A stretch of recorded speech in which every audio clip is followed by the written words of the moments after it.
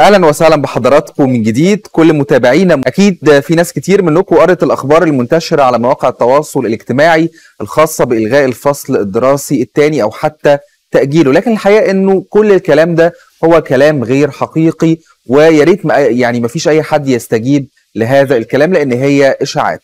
أكدت مصادر مسؤولة بوزارة التربية والتعليم والتعليم الفني إنه لا صحة لإلغاء الفصل الدراسي الثاني وأوضحت إنه من المقرر أن تعود الدراسة في موعدها المحدد وفق الخريطة الزمنية للعام الدراسي 19 فبراير الجاري مع تطبيق يعني كافة الإجراءات الاحترازية والوقائية بين الطلاب داخل المدارس.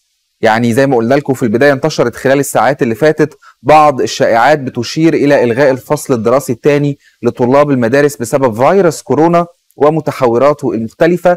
والحقيقة أنه يعني كانت امتحانات الفصل الدراسي الأول انتهت يوم الخميس 3 فبراير الجاري ونجحت المدارس بالفعل في عقد امتحانات الترم الأول حضوريا لجميع الطلاب داخل المدارس رغم انتشار فيروس كورونا ومتحوراته الجديدة. وقتها برضو طلعت إشاعات آه لكن وزارة التربية والتعليم والتعليم الفني أكدت أنه ما فيش أي صحة لتعديل مواعيد أجازة نص السنة.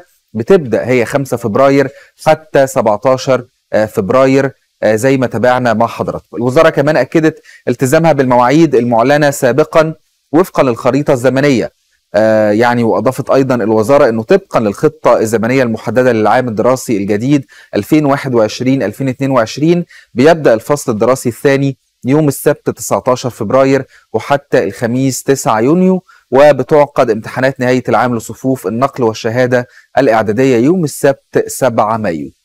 طبعا امبارح بدأ يعني إعلان نتائج يعني مراحل النقل وأكدت وزارة التربية والتعليم والتعليم الفني أنه بيتم إعلان نتيجة امتحانات الفصل الدراسي الأول لطلاب الصف الرابع الابتدائي في شكل التقديرات وأوضحت أنه الدرجات ليها موجودة باللون الأزرق وبتؤكد أنه يعني المتعلم فاق التوقعات. ده لو اللون الأزرق. أما اللون الأخضر بيوضح إنه المتعلم قد امتلك المعارف والمهارات المطلوبة ومن 65 لأقل من 85 واللون الأصفر بيوضح إنه المتعلم في حاجة إلى بعض الدعم وده بيكون من 50% أو يعني أقل من 65% اللون الأحمر بيوضح إنه المتعلم لم يتقن هذه المعارف والمهارات ولا يزال يحتاج إلى الكثير من الدعم وده بيبقى طبعا أقل من 50%.